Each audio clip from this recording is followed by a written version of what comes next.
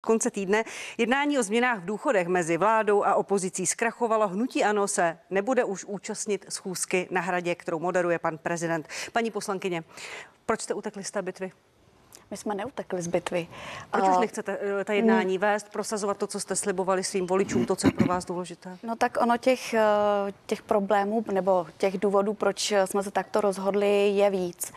A ten poslední, který nás utvrdil v tom rozhodnutí, bylo vystoupení na kongresu ODS, kde bylo prohlášeno, eh, že ta důchodová reforma projde 108, že v podstatě v tu chvíli opozici nepotřebují a my se pak považujeme považujeme jakékoliv jednání s takovýmto podtextem za nepřípustné. Ale to, co je pro nás nejdůležitější, je to, že pro nás je červená linie eh, ten maximální věk odchodu do důchodu. Pro nás je to 65 let, ani měsíc navíc a jsou tam další věci, se kterými máme problémy a to je eh, třeba to, že nechceme, aby se valorizovali nebo zasahovalo do systému valorizací, jak se stalo eh, v, za této vlády, co se týče seniorů. Nepřejeme si, aby se omezovalo v nějakém eh, jakémkoliv měřítku výchovné a eh, to, to jsou věci, které prostě jsou pro nás nepřekročitelné. A za mě já musím říct, že mě mrzí, že k tomu jednání došlo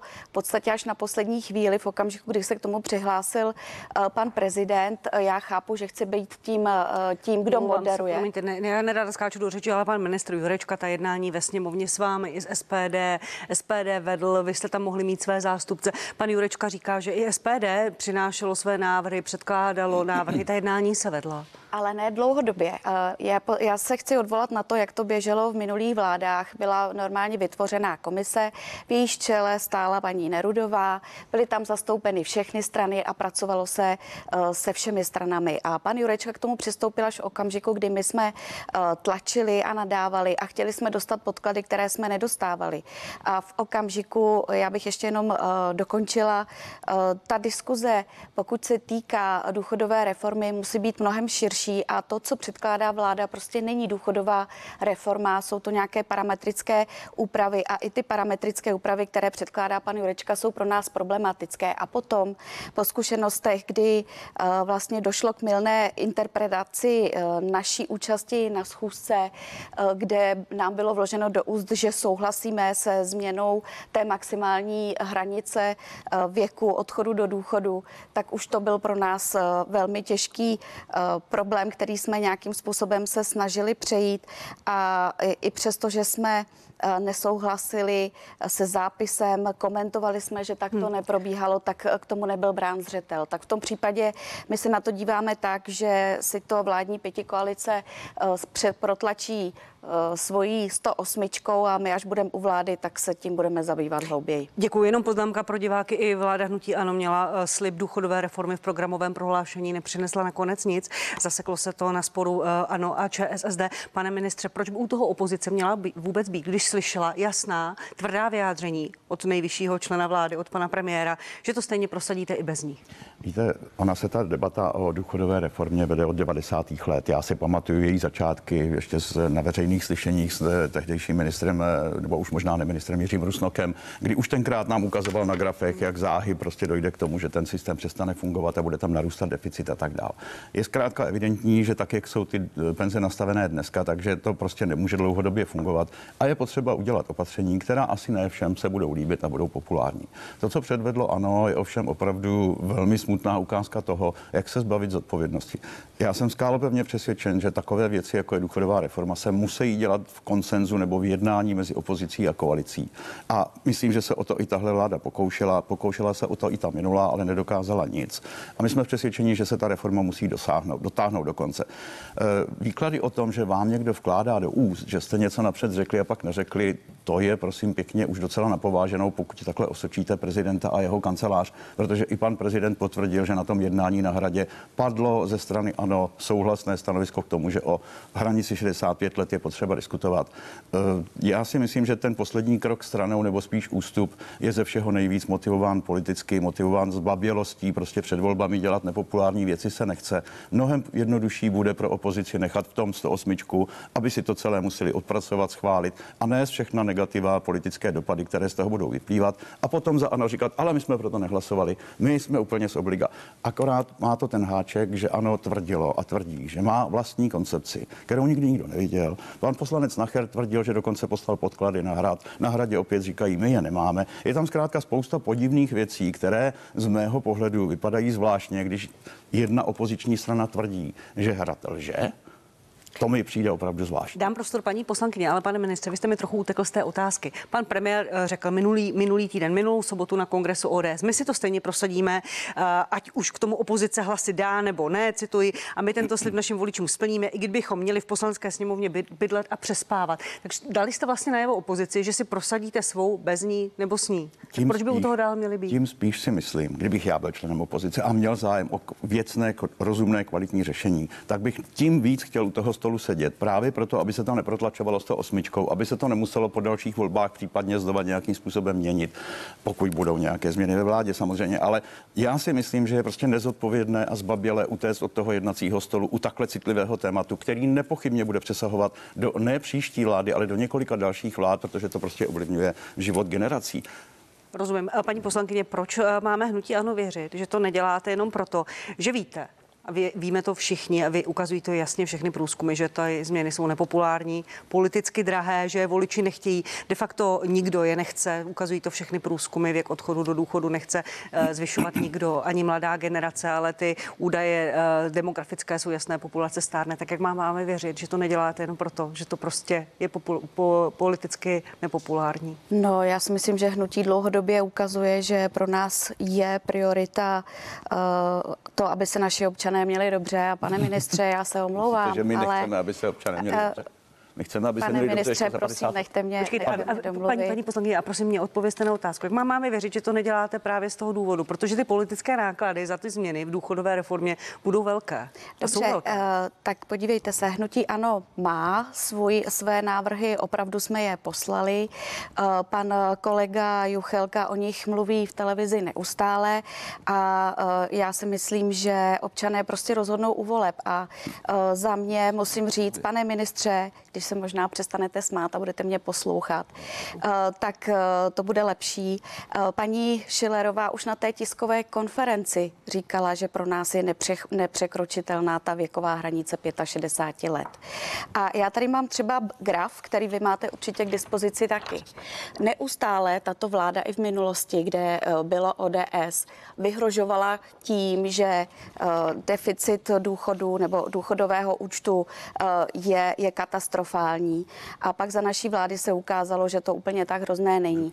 Je potřeba říct to, že my vidíme eh, ty, ty mezery, které vláda má třeba ve výběru, ve výběru daní, eh, potírání šedé ekonomiky, zajištění vyšších příjmů. Kdyby toto vláda dělala, tak eh, nemůže tady vyhrožovat tím, že účet pro důchody je vyčerpaný anebo katastrofální. Samozřejmě, že on se vyvíjí podle toho, jak nastupují penzijní ročníky a ani to strašení, že Husákovi děti, kam teda mám tu čest patřit i já, eh, že eh, nastoupí silné ročníky a dojde k velkému eh, výdaji na důchodovém účtu, tak k tomu výdaji dojde, ale pak postupně zase klesne. A je teď potřeba říct, že Česká republika vynakládá 8% veřejných výdajů právě na důchody. A není v tom na té špici, jsou tam i země, které vynakládají 11, 13 i víc procent.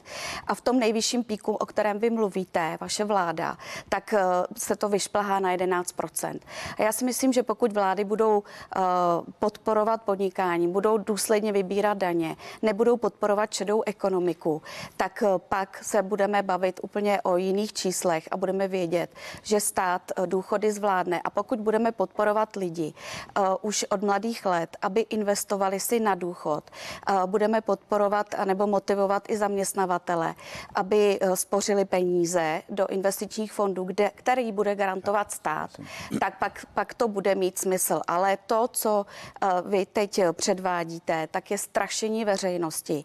A přijde mi úplně neuvěřitelné, že chcete zvyšovat věk do důchodu na 65 let a že ještě přitom uh, vlastně velmi se, se škrtáte seznam uh, těch náročných profesí, které nemohou jít do předčasného důchodu, uh, které vlastně půjdou do předčasného důchodu, jejich, jejich fakt malá část.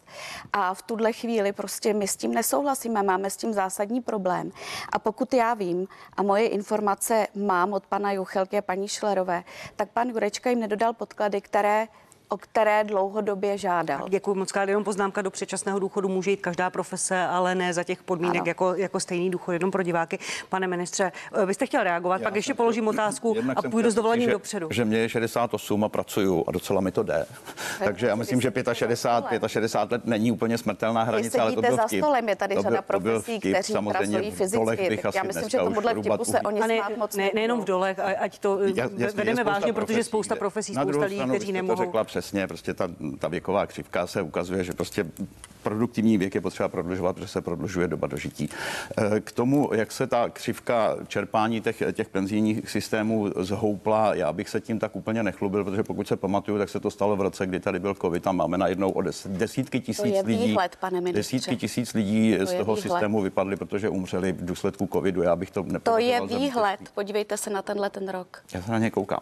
Ale tak to nemá s já, já si nemůžu pomoct, ale když poslouchám paní poslankyni, eh, je určitě všechno z toho, co říká. Je to předmět k diskusi. A jestliže ano řekne, ale my se o tom s vámi bavit nebudeme a pak to zase celé uděl, budeme dělat jinak, tak to nikdy neskončí. Já si myslím, že to, co je společným zájmem a mělo by být společným zájmem z odpovědných politiků, je, abychom našli systém, který se nebude každé čtyři roky buď předělávat nebo rušit a hledat znova, nebo se možná vůbec neschválí. Co bude, promiňte, pane ministře, co bude dál? Ty změny jdou na vládu, hnutí ano říká, že u těch schůzek už být nechce, je to nejsilnější opoziční hnutí, ze zároveň nejsilnější politickou podporou, jak ukazují průzkumy. Budete riskovat, že to prosadíte, hlasy na to bez pochyby máte, politickou legitimitu také, ale pak, že to další vláda zruší, nastane chaos ve společnosti, protože minulost ukázala, jak, jak to s takovou změnou může potom dopadnout.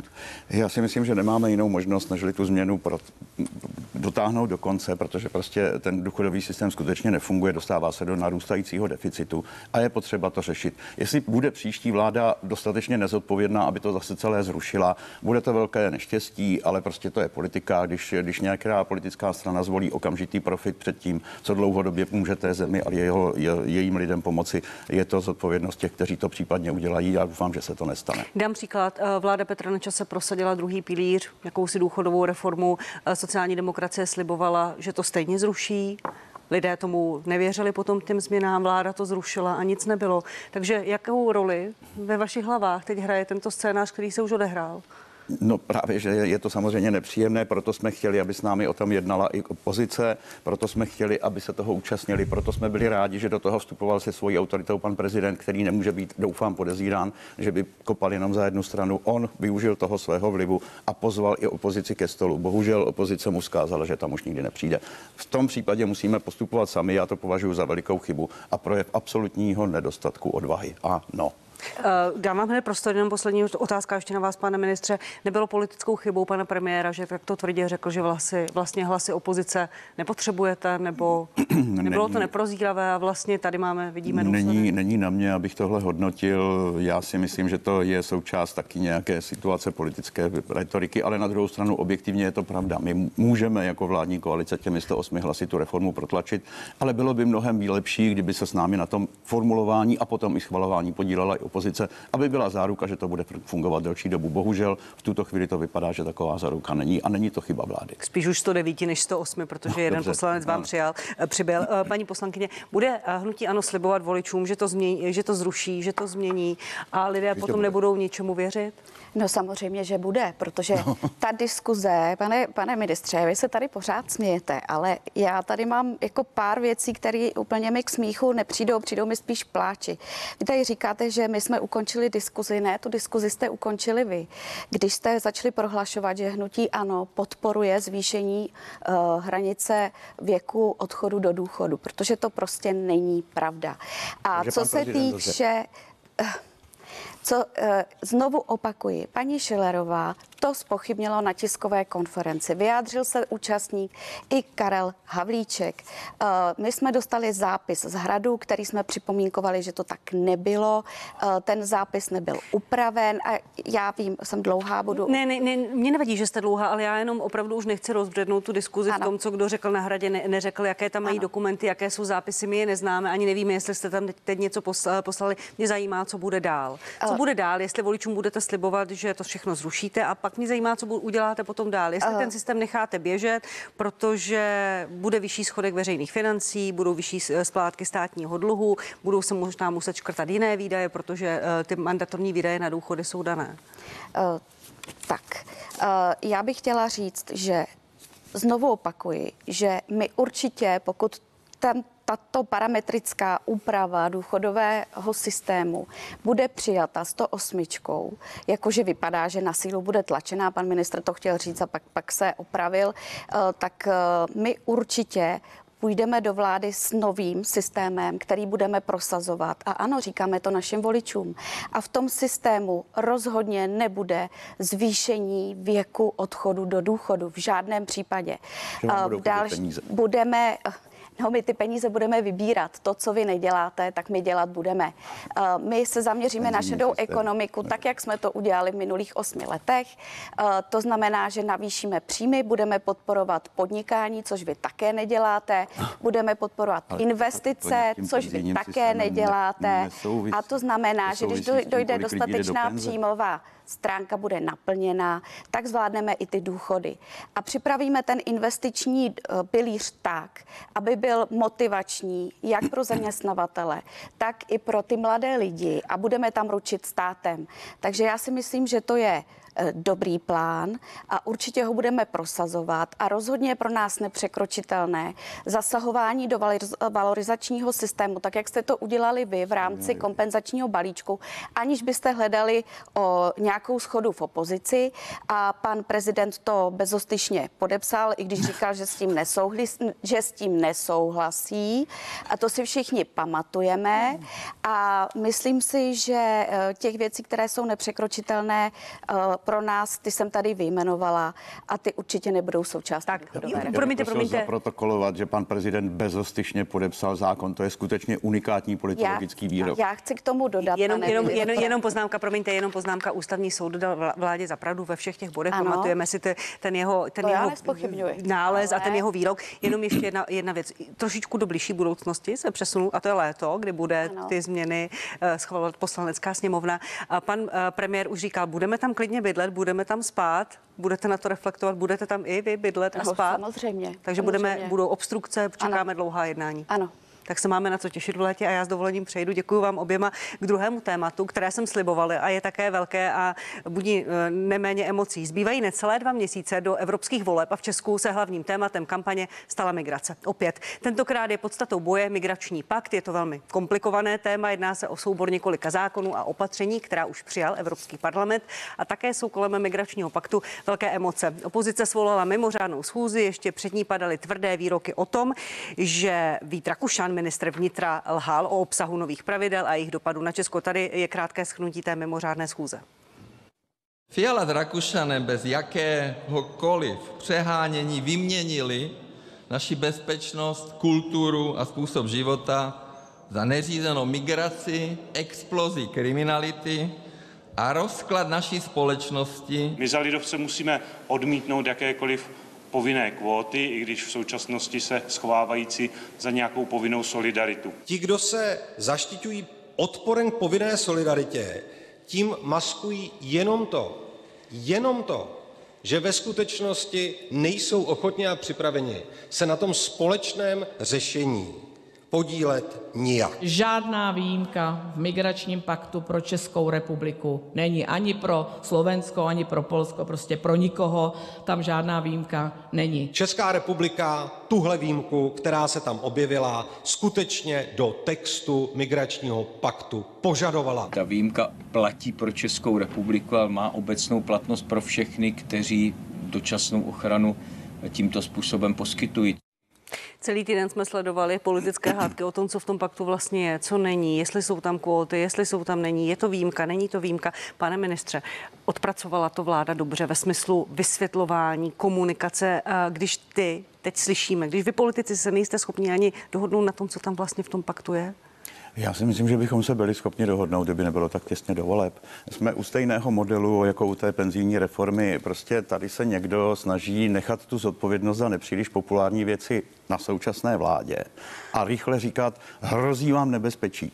Ano, dlouhodobě má zásadní politický režim, vyvoláme strach z něčeho, co tu sice není, ale mohlo by být, a pak vás před tím nebezpečím ochráníme. Já si dovolím paní poslankyni ocitovat jed, dva dokumenty, jestli můžu chviličku. Programové prohlášení vlády Andreje Babiše z roku 2017. Vláda bude navrhovat jiný systém řešení vyvolané migrace, a to jako efektivní evropské řešení, které je v souladu s mezinárodními konvencemi a respektuje princip solidarity mezi státy Evropské unie programové prohlášení. A v roce 2020 v říjnu tatáž vláda formulovala takzvanou rámcovou pozici k tomuto migračnímu paktu, který teď teprve došel ke svému konci. V případě solidarity Česká republika bude usilovat o vyvážený text, do kterého se promítnou její dlouhodobé priority a cíle. Česká republika může podpořit povinný flexibilní, solidární mechanismus povinný, flexibilní, solidární mechanismus. To je přesně to, co tam je. Ale i nadále se bude stavět proti takovým návrhům, které by upravovaly povinnost a automatičnost redistribuce osob v rámci Evropské unie. Vedení touto rámcovou pozicí vedli všichni naši zástupci v Evropské unii v této nové vládě, přesně drželi tuto linii a jediná změna, která je tam navíc, je ta výjimka, která tam podle vás není a která vznikla v důsledku války na Ukrajině, tedy že země, které mají velký příliv uprchlíků z Ukrajiny, mohou žádat o výjimku z tohoto mechanismu. To je celé. A paní, a paní poslankyně, co vám na tom paktu tak vadí? Vy říkáte, že tam jsou kvóty. Vláda říká, že nejsou. Vláda říká, že když budeme tady ještě stále mít uprchlíky z Ukrajiny, nevztahují se na nás ani eh, eh, ty podmínky, které se schrnují po ten pojem povinná solidarita. Jak to udělat jinak bez solidarity v Unii? Tak, uh... Migrace je velmi emotivní téma. Já musím, to uznávám. Na druhou stranu, pane ministře, když Vít Rakušan protlačoval tenhle migrační pakt, vy jste ve vládě nebyl, je to tak? Byl. Nebyl, ještě to ne, končilo. to byl pan Beck, ne? Ale končilo to, končilo to až za... Já se pamatuju, seděl jsem už ve vládě jako minister, když jsme schvalovali mandát. A proč, ten, proč si pro ten mandát nepřišel pan Rakušan do sněmovny? Protože měl mandát z vlády. Protože si sněmovna zastupujete 17% obyvatelstva? Já si myslím, že sněmovna mohla požádat pana ministra. Ne, pan ministr si měl přijít pro ten mandát, aby jeho postavení bylo silné. Promiňte, promiňte, k mé otázce, paní poslankyně, vám tedy vadí, že, že vláda jednala bez souladu s opozicí, bez souladu ano. se sněmovnou. Ta debata se vede zhruba rok, ano. kdy pan ministr přišel, nebo kdy se uh, odsouhlasila ta pravidla. Já vás trošku pravím, protože zhruba v červnu roce 2023 to bylo přijato. Přijato, Takže tak. ta debata předtím vůbec ve sněmovně na tohle téma nebylo. A ani to nebylo v prioritách této vlády, že to chtějí prosazovat. To si řekněme, to tak je. Protože kdyby to tam bylo, tak my bychom se na to ptali. A co se týče té slavné výjimky, o které eh, pan Rakušan vykřikoval, že ji tam zaručeně máme, no tak ji tam nemáme. Je tam možnost požádat o výjimku při splnění dalších 21 no, podmínek. Je to tak. A je to o tom, že ano, jednou z těch podmínek je ta nadměrná zátěž naší republiky. Co se týče. Vláda tvrdí, že ty, nebo říká, že ty podmínky nejsou kumulativní, že stačí, když jsou splněny některé, ale bude se ale o tom hlasovat to, v rámci. Já to jenom chci do, dokončit. Uh, teď je potřeba si říct, že většina uprchlíků z uh, Ukrajiny je pod dočasnou ochranou. Tato, uh, tento pakt začne platit od roku 2026 a v té době už většina těch uprchlíků bude mít jiný status. To znamená, že my nebudeme moct tuto tu výjimku uplatnit. A řekla jste to správně. O té výjimce pak rozhoduje Evropská komise a může se stát, že velké státy nás potom přehlasují. To prostě tak je. Takže žádná zaručená výjimka pro Českou republiku tam není. A kvóty tam jsou. Hned přijdu, přejdu k výjimce, ale mě zajímá, jestli podle vás to lze udělat bez povinné solidarity, protože migrace je, tu neumíme zastavit a jsou státy, které jsou na okraji, které jsou tím velmi silně zasaženy. Jak to udělat v rámci toho společenství, které je na solidaritě založeno, jak to udělat bez toho? Uh, je to o té silné. Co byste mě nechal domluvit? Já vám dám prostor, pan ministr. Uh, je to o té ochraně vnějších hranic Evropské unie, o uzavírání uh, dohod o readmisi, uh, které v současné době nevždy úplně všude fungují. A je to o přísné návratové politice. A ta také nefunguje. A je to také o tom, že velké státy, a teď budu konkrétní Německo, by asi možná mělo upravit ty svoje štědré, štědré sociální dávky, protože to je ten tahoun, za kterým ti ekonomičtí legální migranti jdou. Nebylo to jenom Německo, ale byly to i další státy Unie, které ale samozřejmě samozřejmě, lákaly. ale v tuhle chvíli samozřejmě to Své Německo je nejmarkantnější. A eh, v tuhle chvíli my si myslíme, že je potřeba tohlento, tohlento splnit. Eh, Když to řeknu úplně laicky, uzavřít tu Evropu pro ilegální uprchlíky, kteří jdou za ekonomickými prospěchy. A pak se můžeme teprve bavit o tom, co budeme dělat s těmi, co jsou uvnitř. Ale tenhle migrační pakt, který byl přijat i díky našemu ministrovi Rakušanu, který se tím velmi holedbal, jak je skvělý a úžasný, tak způsobí ještě větší rozkol v Evropské unii, protože ten tlak ostatních zemí na to, aby se přerozdělili eh, pro ně přetížené země i do těch zemí, které se tomu teď 10 let úspěšně bránili, eh, bude enormní a eh, bude problém se s tím vypořádat, protože i finančně to bude náročné. Když se budeme chtít vyplatit, tak to levné nebude. Ty platby budou roční, budou flexibilní, to znamená, že každý rok se bude mluvit o tom, kolik případně uprchlíků se přerozdělí. A z toho se potom budou odvíjet i ty peníze. A jestli tady pan ministr teď řekne, že je tam ještě ta třetí varianta, technická pomoc, ano, ta tam je, ale to o ty, ty státy, které jsou tím dotčené, musí stát. Takže pro nás to je extrémně nevýhodné. Eh, Diváci už viděli vyjádření paní eurokomisařky švédské Ilvy Johanssonové, která vstoupila do té diskuze na Twitteru a napsala, diváci si to mohli přečíst, ale tu podstatnou věc, která se týká výjimky, Česká republika, která již projevila solidaritu tím, že hostí velké množství Ukrajinců, bude moci být osvobozena od jakýchkoliv povinných solidárních příspěvků.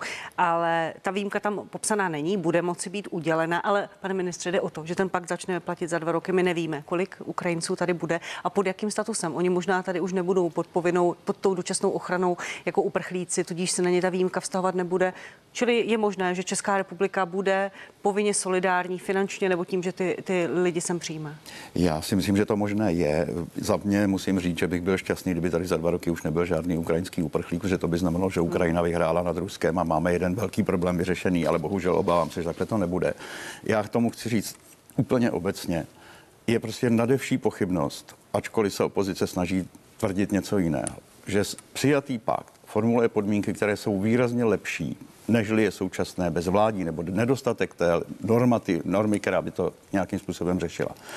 Řeší podle našeho názoru přísnější ochranu vnějších hranic Evropské unie, zpřísňují se pravidla při hraniční proceduře, zrychluje se asilové řízení, migranti budou povinně umístěváni do detence. Když někdo jenom přijde na hranice a řekne, že chce azyl, už ho nemusíme pustit. To je zásadní změna, velká ochrana vnější hranice. Já znovu opakuju, my jsme postupovali, tato vláda postupovala v intencích toho, co předtím považovala za zásadní i ta vláda Andreje Babiše. A proto považuji za nemravné, když dneska vykřikuje, že to, co vlastně v tom paktu je a bylo to tam, mělo tam být i, i za nich, kdyby to dokázali dojednat, tak dneska vydává za ohrožení naší kultury, identity a tak dále. Jak, já si pamatuju ty výkřiky, jak nám budou ti migranti tady znásilňovat ženy a děti. Kdykoliv se blíží volby, tak se prostě téma migrantů objeví jako největší bubák. Přičemž, co si budeme povídat, v Česku to žádný zásadní problém v tuhle chvíli není. Nechceme, abychom skončili v nějakých eh, zásadně komplikovaných situacích, kterým, kterým dneska musí čelit některé země. Ale když jsme u toho, ty země, které tomu čelí, chci říct, že když se hlasovalo o tom a paktu, má to 10 částí, o, pouze 8 zem, členských zemí nepodpořilo všech 10 částí. A to Maďarsko a Polsko bylo zásadně proti proti všemu, Slovensko se dvakrát zdrželo a zbytek bylo proti a pak už jenom jednou se zdržela Litva, po každé se zdrželo Česko, dvakrát se zdržela Malta, dvakrát se zdrželo Rakousko, dvakrát bylo proti a jednou Slovensko, Slovinsko si vyhradilo právo prohnat to parlamentem. Tím chci říci, že ty země, které dneska s tou, s tou migrací mají zásadní problém, tak jsou přesvědčeny o tom, že toto je správné řešení. Pane ministře, pokud, já vám dám hned prostor, paní poslankyně, pane ministře, pokud se budeme bavit o situaci za dva roky, kdy ten pakt bude platit, jak říkám, my nevíme, jak to bude No, s. Ukrajincema, možná, že se na nás žádná výjimka vztahovat nebude. Jak Česká republika bude postupovat? Bude, je pro vás lepší, kdybychom ty uprchlíky, migranty nelegální tady přijímali nebo se vypláceli? Budeme na to mít? S čím mají lidé počítat? Je samozřejmě otázka, jaký by to byli migranti. Já se do dneška jako Čech stydím, že jsme nebyli schopni přijmout 50 syrských sirotků. By rozhodně bezpečnostní situaci v Česku nějakým způsobem neohrozili, ale chyběla prostě politická odvaha říct pro boha jsme křesťané. Máme pomáhat lidem, kteří jsou v nouzi. Navíc Syřani jsou často křesťani, tak jako my. Ale prostě nebyla tady politická vůle, protože se stále strašíme, co všechno nám provedou ti migranti, až tady budou. Stejně tak, ta obrovská vlna hysterie kolem současného paktu není ničím jiným než zneužíváním a vytvářením atmosféry strachu před něčím, co ve skutečnosti zdaleka tak dramaticky nehrozí, ale výborně se to hodí do politického boje, vykřikovat, co všechno se nám stane. Jak to bude za dva roky, já nevím, ale doteďka žádnou zásadní výjimku nemáme. Máme tady nějaký zásadní problém s no zónami nebo, nebo s přebytkem migrantů z Afriky a z Blízkého východu? Nemáme, protože oni jednak do Česka moc nechtějí a jednak zkrátka to není v tuhle chvíli zásadní problém. My jsme vnitrozemská země a naší povinností, chceme-li být solidárním a solidním členem Evropské unie, je pomáhat těm, kteří jsou v tom nárazníku na okrajových částech a k tomu se zavazujeme. Ale souhlasíte s tím, že jsou v Evropě místa, kde ta migrace zvládnutá dobře nebyla, že ano. jsou tam obrovské problémy a je legitimní, že někteří lidé v Česku mají prostě strach? Já tomu rozumím rozumím, ale nemyslím si, že je správné a korektní ten strach posilovat a ještě víc do něj pumpovat, jak si co nejvíc. Bojte se, bojte se, bude to strašné. Já si myslím, že Seretního zní jako korektní politik. Vy mě říkat, nebojte se, my jsme tady kvůli tomu, abychom tu situaci zvládli a když nám s tím pomůžete, tak to bude v pohodě. Strašit lidi, co všechno se stane. Říkám, já už jsem zažil strašení 100 korunama za benzín a že zmrzneme bez ruského plynu a jak nám budou znásilňovat ty manželky. Vždycky se to báječně hodí před volbami a nikdy se to nenaplňuje, což je fajn. Děkuji mnohokrát, paní poslankyně. Nechám vás reagovat, pak položím otázku, ale vy se uh, zhluboka nadechujete, tak No, reagovat. já teda při vší úctě, pane ministře, mně přijde, že žijete na jiné planetě, že jste zamrzli v nějakém svém idealistickém světě. Vy nevidíte ty problémy bezpečnostní v Německu? Vy nevidíte ty bezpečnostní problémy ve Francii? Vy nevidíte ty bezpečnostní problémy v Bruselu? A to, že deset let tady nebo 8 let minulé vlády kde jsme my byli součástí, udrželi ty hranice tak, jak jsou a těch migrantů tady zaplať pámbu nemáme tolik, tak to není strašení, to je výsledek politické práce. My jsme ty dveře zavřeli a drželi jsme je zavřené. Vy tím migračním paktem ty dveře otevíráte a to, že teď tady ty bezpečnostní problémy nemáme, neznamená, že v roce 2027, 8 a dále ty problémy tady mít nebudeme. Budeme. Nebude. Pokud se budeme, já mám malé dítě a přiznám, přiznám se, že opravdu nechci, aby žilo v takovém světě, který je v Bruselu nebo kdekoliv jinde. Opravdu to nechci. A, prosím vás, a nikoho tady nestraším. Ty lidé, ty lidé koukají na televizi ty čtou noviny. Všichni občané naší republiky si ty informace najdou. To, co tady říkáte, prostě není pravda. A bezpečnostní problém uh, tady nastane. A, na, a to, že vy tady říkáte, uh, že uprchlíci uh, z Ukrajiny si všichni vrátí na Ukrajinu, jsme oba dva realisti, víme, že to tak nebude. Já neříkám, že to je špatně. A to pan minister ale... neřekl, on řekl, že nebudou přibývat další ne, váleční on řekl, uprchlíci. Že všichni se vrátí, já jsem si to tady napsala. Takže to všichni víme, že to tak nebude. A já neříkám, že to je špatně, ale přijdou sem třeba eh, za nimi ti jejich eh, muži, kteří na té Ukrajině bojují a tam budeme mít problémy. A je potřeba se o tom bavit. A ještě k tomu vy tomu přidáte tím, že sem pustíme lidi s odlišnou kulturou. A já si myslím, že je výsostné právo České republiky a trvám na tom, že si má sama rozhodnout, koho si sem pustí a koho si sem nepustí. Ale to všechno Podpisem migračního pakt paktu jste tuhle suverénní možnost České republice vzali. Paní poslankyně. Mně se líbí, jak kde kdo vykládá pakt, který má 350 stránek a ještě nemá českou verzi, ale všichni už vědí, co On tam už je. má snad českou verzi. Už verzi a máme už, svoje už poslance v parlamentu. No, právě. My, nežijeme, v, my nežijeme v nějakých iluzích. Vteřinku, uh, paní poslankyně, uh, Česko není cílovou zemí migrantů. Náš, dá, náš dávkový systém není pro ně atraktivní. Uh, není ta celá debata velmi emotivní, nepřehledná, jak jsem říkala na začátku, daná jenom tím, že budou volby a minulost už ukázala, že téma migrace umí volby zásadně ovlivňovat, neli vyhrávat volby prezidentské, volby sněmovní. Ne, není to tak, protože až začne platit ten pakt a začne se v Bruselu rozhodovat, kolik lidí nám sem pošlou a my nebudeme schopni se z toho vyplatit, tak ti uprchlíci budou tady u nás, budou tady fyzicky. A znovu připomínám, máme čtyři detenční zařízení. Jedno já jsem měla čest jako hejtmanka navštívit a ta detenční zařízení jsou malá. Kam ty lidi dáte? Teď tohle se neřeší. A e, výhledově samozřejmě uvědomme si, že v letošním roce do Evropy přišlo kolem 1,2 milionu ilegálních migrantů. A pokud je přijmout tenhle ten pakt, tak se jim otevírají ty dveře dál. Jako tam se neřeší nic, co se týče té mafie, která je převáží. Nic takového se tam neobjevuje. A já to považuji opravdu za úplný uh, nonsens, to, co pan Rakušan prosadil. A tady se tím holedbal a vláda, když zjistila, jak obrovská nevole to je, tak, tak cukla a řekla, že se zdrží a ani se nepokusila s tím cokoliv udělat. A já teda musím říct jednu věc.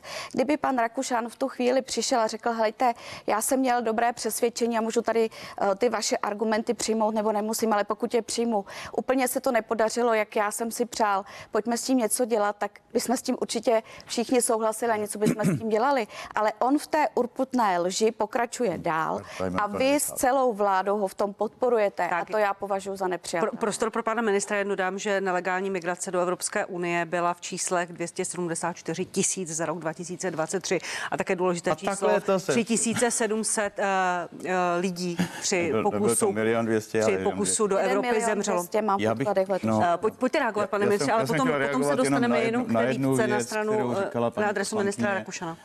eh, Že má dítě a nechce, aby žilo v nějakém eh, špatném prostředí. Proč tedy utíkají lidé z východu? Odcházejí za prací ze Slovenska, z Česka, z Polska, z Maďarska, zrovna do těch zemí, které podle vás trpí náporem migrantů a nedá se tam žít, protože tam černoši znásilňují bílé ženy a děti. Díky je to absurdní. Vy neustále vytváříte pocit, jako že bychom my tady byli ráj na zemi, kde jí, který vychází mimo jiné z toho, že tady nemáme ty migranty. A naopak hrůza děs zastává někde za chebem, protože tam ty migranty mají. Díky je to přesně naopak. Ty země žijí v pohodě. Jasně mají problém s migranty, já to netvrdím, že nemají, ale migrační pakt není dokumentem, který by to zhoršoval, ale naopak, a znova musím zopakovat, je přesně v intencích toho, co prosazovala, respektive měla prosazovat vláda Andreje Babiše. Nic horšího, nic ústupného tam není. A ještě poslední větu hned. Uh, Vít a všichni deklarujeme, a taky proto se Česko zdrželo, že jsme měli větší ambici, speciálně v ochraně vnějších hranic. Proto jsme se zdrželi. Nicméně znova a znova opakujeme, je to lepší než stav, v kterém žijeme teď. Ještě dá- je- dávám ještě prostor paní, paní poslankyně, pane ministře. Eh, Ministr Rakušan říkal od toho loňského června, byl i v partii, že je tam výjimka pro Česko. Začalo se to velmi znepřehledňovat a i poslanci za vládní koalici, pan Koleje říká, žádná specifická výjimka pro Českou republiku tam není. Ondřej Krutílek z ODS tento týden napsal, že to, co říká pan ministr Rakušan, to jsou řeči barona Prášila, v migračním paktu je hodně ale a tak dále. Neměla být vláda otevřenější, komunikovat to jasněji a říct, možná budeme mít výjimku, možná taky ne, ale prostě toto přijímáme, protože si myslíme, že je to tak správně. Já nevím, jestli jsme to deklarovali dostatečně hlasitě. Já si myslím, že se o tom mluvilo dlouho. Na druhou stranu uvědomme si, že ten legislativní proces uvnitř Evropské unie je docela komplikovaný a vlastně ta finální, ještě stále to není formálně schváleno, ještě to bude jednou Rada Evropské unie na- jedna Ale Evropský parlament už to. Ale Evropský parlament to schválil teď nedávno. Evropský parlament do toho vnesl věci, které se nám příliš nelíbily, proto jsme se nakonec v tom posledním eh, kole rozhodli, že se Česká republika zdrží, ale na druhou stranu, musím říkat znova dokola, my jsme to nechali projít, nebo byli jsme rádi, že to prošlo, protože to je prostě lepší stav, než který je doposud. A je to stav, který přesně respektuje zadání, které jsme politicky měli od předchozí vlády. A proto považuji za naprosto nemravné, že nás dneska osočují, že vlastně tím, že jsme akceptovali a aplikovali to, co chtěla minulá vláda, my jsme této zemi ublížili. To prostě není pravda. Paní poslankyně, to téma uzavřeme. Já jenom dám ještě jeden pohled, a to je pohled lidskoprávních organizací, které také s tím paktem nesouhlasí, ale z jiného důvodu, protože je podle nich příliš tvrdý, nelíbí se jim to zadržování, ta detence na hranicích, ta zrychlená řízení pro, pro eh, vyhošťování migrantů a tak dále. Není toto vlastně dohoda, eh, která je lepší než nic? Maximum možného, protože ta debata se vede od roku 2015 a eh, neměla žádný výsledek až teď. Uh, já si to prostě nemyslím. Uh, je to uh, a i to načasování před, před tím vlastně schvaluje těsně před evropskými volbami, uh, schvaluje Evropský parlament, uh, komise, která se změní, doufejme, změní se i parlament, tak takhle zásadní a složitý a i politicky třaskavý dokument schvalovat takhle na poslední chvíli, já si myslím, že to je špatně. A já bych se ještě chtěla vrátit tomu, co tady říkal, říkal pan ministr a odvolával se tady na usnesení eh, Babišovy vlády. Víte, Ono je to trošku liché. Eh, To, co tam vy čtete, vůbec eh, nekoresponduje, nepo- nekoresponduje s tím, co vy jste prosadili. A přijde mi opravdu vtipné, že všechno, Ne, už prosím ne. Eh, co všechno vy říkáte, co Babiš všechno udělala, najednou tohle je to správné rozhodnutí, to, ten statement, který vy vezmete a budete ho prosazovat. To je opravdu úsměvný argument, opravdu úsměvný. A to, co já musím říct, že tahle vláda, jejíž vy jste členem, eh, tady nadělá takovou paseku, že mnoho vlád po ní s tím bude mít obrovský problém a i na té No, evropské úrovni. Hmm. Ne, to není před volbama. Já To říkám dlouhodobě, můžete si, můžete si přejít, přejít, projet všechny moje vystoupení Ne, já a všechno, myslel, co jsem kde komentovala. televizi, tady to Já ho mám poměrně často, pane ministře, kdybyste se podíval. Takže uh, já jsem člověk, který je poměrně pragmatický, ale to, co přijal Vít Rakušan za zády této republiky, a já jsem byla první, jedna z prvních, kdo to vytáhl na plénum a ptali jsme se a on byl zaskočen, protože jsme se to dozvěděli z novin. Uh, neměl ani tu odvahu přijít na výbor pro evropské záležitosti, bavit se tam o tom. Vy říkáte, že to bylo diskutováno dlouho. No nebylo. Nikdo se s opozicí o tom nebavil. Vít Rakušan v tichosti tohle prosadil v rámci českého předsednictví a my jsme se to dozvěděli z novin. Jestli vám tohle přijde dostatečná, uh, dostatečné probírání, tak já teda na, zásadně nesouhlasím, protože to byl krok úplně mimo a vy jste v podstatě ohrožili bezpečnost České republiky. Sluší se dodat ještě prostor pro pana ministra, ale asi bychom tady mohli být Já- další já hodinu a myslím, že diskutovat. To skutečně Prosím, bychom se točili reakce. dokola. Tady se prostě hází pojmy jako ohrožení bezpečnosti Česká tím, že jsme přijali pakt, který respektuje to, co chtěla předchozí vláda a jediné, co tam Není je to navíc, je pravda, výjimka. pane ministře, Je to nelžete. pravda, ale už se o tom nehádejme. Tady to je, já to mám vytažené. Ale vykládáte něco, co tam vůbec Tak, není. poslední- Jak není není. solidární? Promiňte, pane, promiňte, paní poslankyně, pane ministře. Povinná solidarita Ta- nejsou schované kvóty a vy to moc dobře víte. Ta, po- ta výtka zněla v tom, že se nevedla ta debata dostatečně dlouho. Ta zpráva opravdu, opravdu přišla e, jako blesk z čistého nebe, prostě, že, že se na tom Evropa dohodla, že je tam povinná solidarita. Pamatuju si i ty diskuze, který, ve kterých e, čelil pan ministr Rakušan těm otázkám a od opozice, která mu vyčítala, že o tom nemluvil ve sněmovně a tak dále. Nemělo to být komunikováno lépe, vysvětlováno lépe a ta veřejnost na to připravovaná. To já neumím posoudit. Možná asi vzhledem k tomu, když vidím, jak probíhá ta diskuse, tak by to asi byla marná snaha, ale možná, že tam jsme tak- to měli komunikovat víc. Tak vidíte, moc- 108, síla 108, arogance moci této vlády je prostě neuvěřitelná. Moc krát vám děkuji k tomu tématu, pane ministře, paní poslankyně, děkuji vám. Pojďme otevřít ještě jedno téma velmi aktuální, protože americká sněmovna reprezentantů v sobotu večer schválila balík pomoci pro Ukrajinu 61 miliard dolarů. A sněmovna schválila i další peníze, 27 miliard pro Izrael a 8 pro Tchajvan, 8 miliard dolarů. Z těch 61 miliard eh, je eh, 23 miliard přímá vojenská pomoc. Pane ministře, nastává změna přístupu, nastává změna v tom, že se Ukrajina bude moci lépe účinněji bránit, protože ta situace pro Ukrajinu se nevyvíjí dobře. No doufejme, doufejme, že to je ten okamžik, který by mohl být tím starterem nebo okamžikem zlomu. Eh, Velice bychom si to přáli, protože v tomhle se myslím i s Anem shodujeme, že si nemůžeme dovolit nechat Ukrajinu padnout, že na jejím území probíhá souboj mezi demokraciemi a nedemokratickými systémy a že musíme za každou cenu podporovat boj Ukrajinců, dokud toho budeme schopni a dokud oni budou ochotni bojovat. To je důležitá podmínka. A samozřejmě jejich ochotu a schopnost bojovat v tuhle chvíli takováhle výrazná americká pomoc zásadním způsobem zvýší. Už to taky na, na Ukrajině rezonuje. Všichni to vítají jako zásadní, zásadní pomoc a věřme, že, že je to pomoc, která přijde dostatečně včas, protože upřímně řečeno, jak jste říkala, situace na frontě se nevyvíjí v tuhle chvíli úplně dobře a čím dříve bude možno použít tu techniku, která, která by měla být z těchto zdrojů pouřízena, tak tím lépe, protože je potřeba zasáhnout včas. Umí to otočit ten vývoj, nebo je- se jenom dostáváme do nějakého překlenovacího období do amerických voleb, kdy bude nový americký prezident zvolen a je to dal- další nějaká udržovací pomoc? To je, která- to je zajímavá otázka, protože asi jste zaznamenala, předpokládám, že dokonce sám eh, prezidentský kandid- kandidát Donald Trump eh, v úterý už se vyjádřil výrazně pozitivně vůči pomoci R- Ukrajině a dokonce se nedá vyloučit, že to byl ten moment, kdy, kdy část republikánů usoudila, že vlastně teď je ta chvíle to podpořit. Já nechci v žádném případě relativizovat podíl eh, toho, že tam v té době se taky pohyboval náš premiér. Je evidentní, že nějaký drobný vliv to mělo, ale ne- nedělejme si iluze, že to byl on, kdo přesvědčil kongresmany republikány, aby hlasovali jinak. Nicméně, nicméně ta, eh, ta návštěva, když už jsem se jí dotkl, tak je samozřejmě výrazem velkého diplomatického úspěchu Česka. Ale co se týče toho rozhodnutí kongresu, tak to si myslím, že zrálo delší dobu.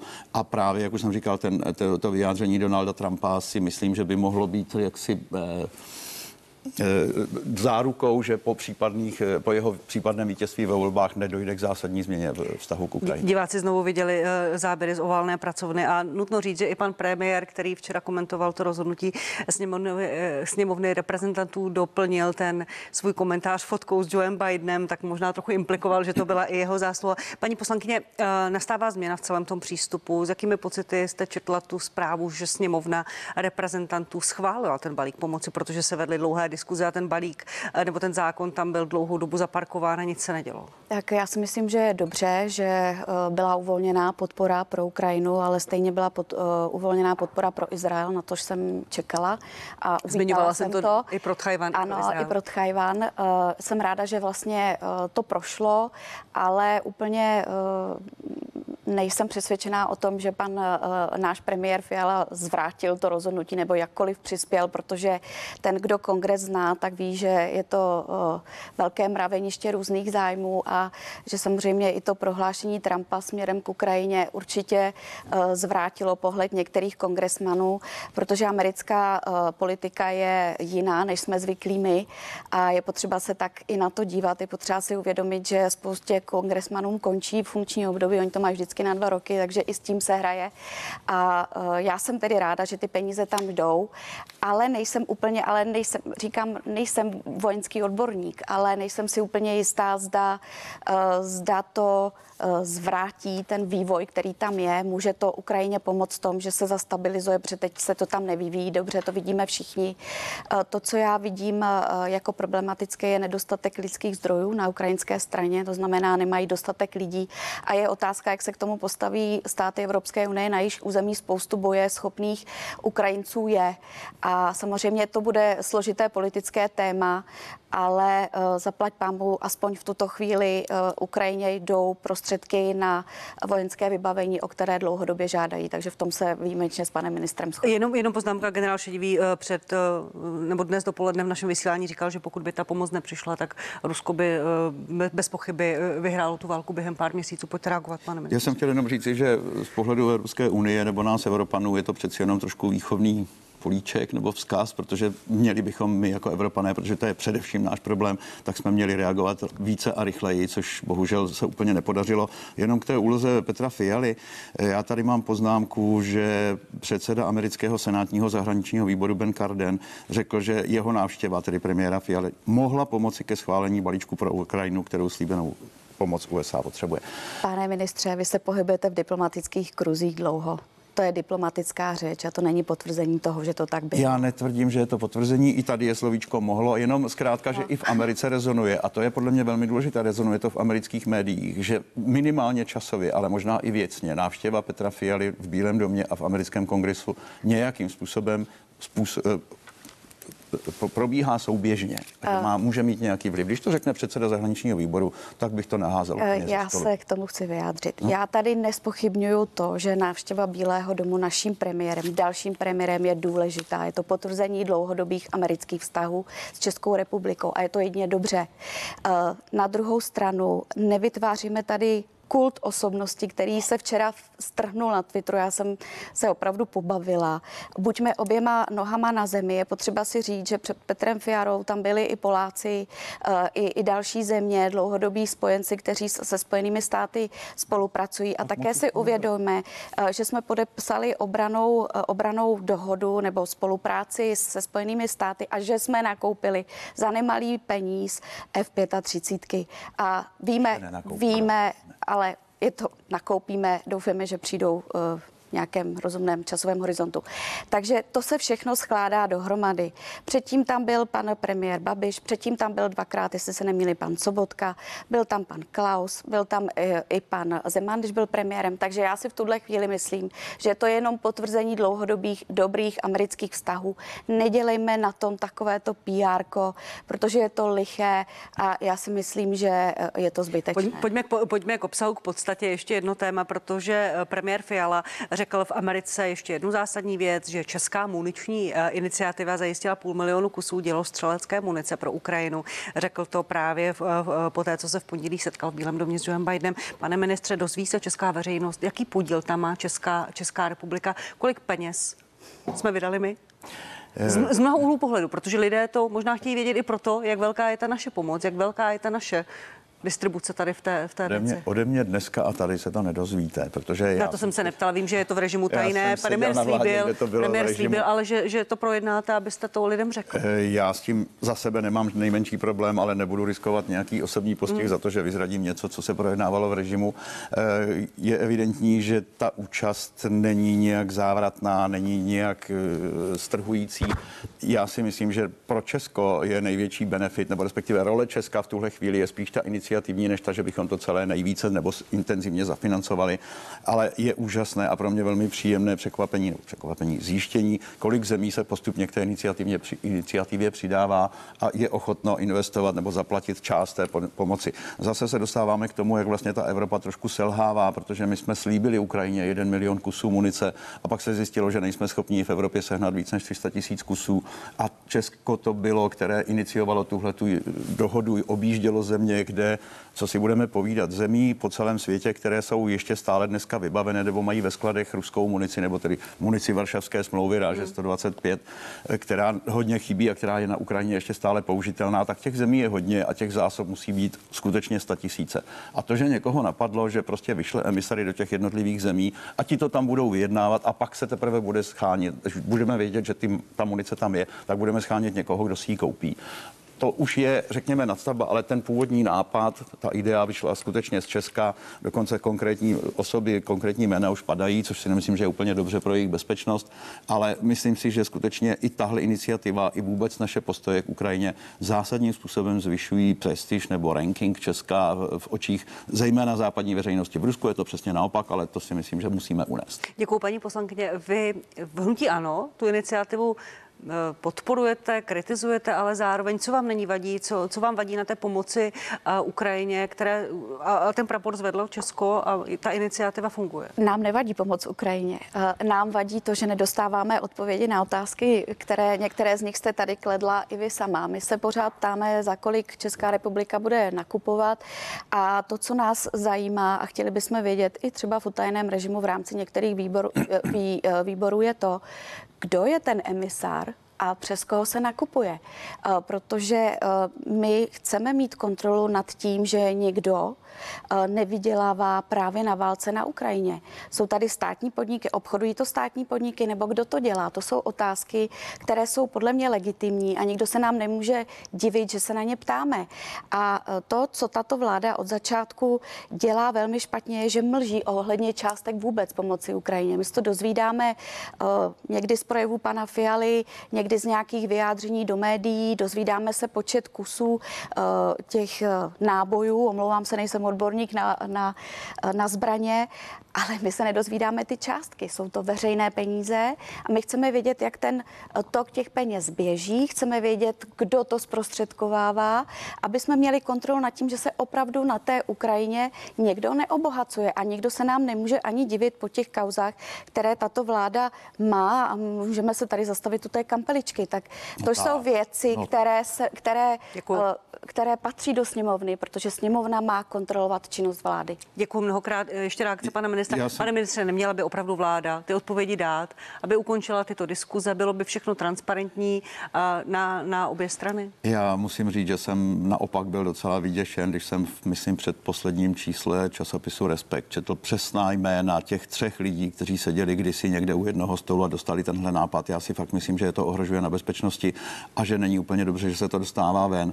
Eh, Bohužel i v režimových jednáních výborů se stává, že pak skončí jednání a okamžitě je všechno v médiích. Vy teď například zpráva pana generála Koudelky na bezpečnostním výboru ohledně té kauzy z eh, Voice of Europe, kde jsme se dozvěděli, co všechno tam z toho záznamu zaznělo. Takovéhle věci se stávat nemají, ale já s váma souhlasím, jsou to veřejné peníze, jsou to veřejné peníze, mají být pod veřejnou kontrolou, ale ta veřejná kontrola má svoje limity. Já chci jenom říci, že Česko Už v tom- velmi krátce, prosím. Česko v tom žád- procesu nemá žádné rozhodovací pravomoci. My získáme tu nabídku, tak jak jsem to popsal, a potom ji transparentně předkládáme donorskému státu, které přibývají a přibývají. A ten se sám rozhodne, co bude financovat. A navíc i ty donorské státy mohou k nám vyslat pozorovatele, který bude s námi spolupracovat při kontrole tady doma, pokud by se v tom Česko nějak angažovalo. Moc krát vám, Kontrola moc je. krát vám oběma děkuju. Martin Dvořák, paní Jaroslava Pokorná Jermanová byli mými hosty v partii.